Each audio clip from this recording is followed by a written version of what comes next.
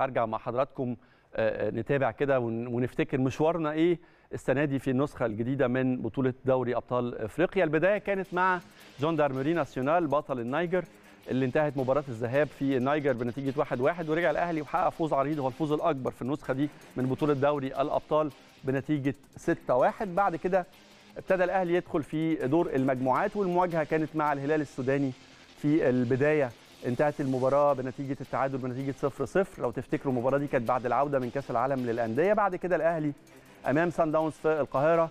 الخسارة المفاجأة واللي ما كانتش متوقعة بعد بعد عرض محترم. وده برده واحد من الدروس المهمة جدا جدا جدا. إزاي تستحوذ وإزاي تسيطر وإزاي تهاجم وإزاي تخلق فرص؟ والأهم من كل ده إزاي تترجم ده لأهداف. عشان كده انتهت المباراة دي بنتيجة 1-0 لسان داونز. ومن بعدها كان مواجهة الأهلي مع المريخ السوداني. المباراة اللي كانت اتاجلت بسبب مشاركة الأهلي في كأس العالم للأندية وقدر الأهلي يحسمها لصالحه بنتيجة 3-2 وكان أول فوز في دور المجموعات للنادي الأهلي.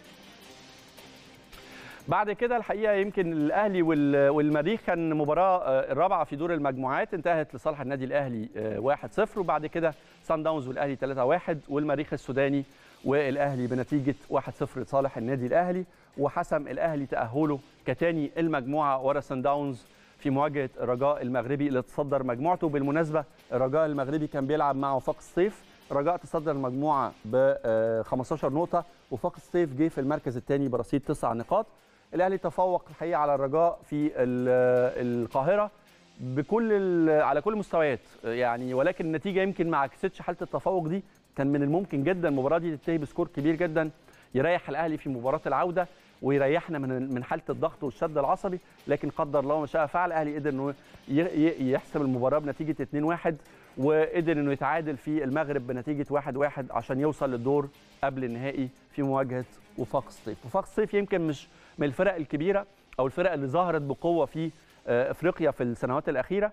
لكن ده ما يمنعش إن هو فريق عنده من الدوافع وأهمها وصوله للدور ده. في بعض الأوقات بتبقى الدوافع والحوافز مش بس مرتبطة بطبيعة الخصم ولا اسمه ولا إمكانياته لكن مرتبطة بالهدف بتاعك مرتبطة بالحلم اللي أنت ممكن تحققه وخصوصا لما تبقى قريب قوي منه. وعلى بعد من 180 دقيقة إنك توصل لنهائي دوري الأبطال أهم وأقوى وأكبر مسابقة في أفريقيا الحلم ده في حد ذاته هيخلي المواجهة مع وفاق الصيف النهارده في منتهى الصعوبة. نتمنى إن شاء الله نكون جاهزين ونكون في أحسن مستوياتنا وهنرجع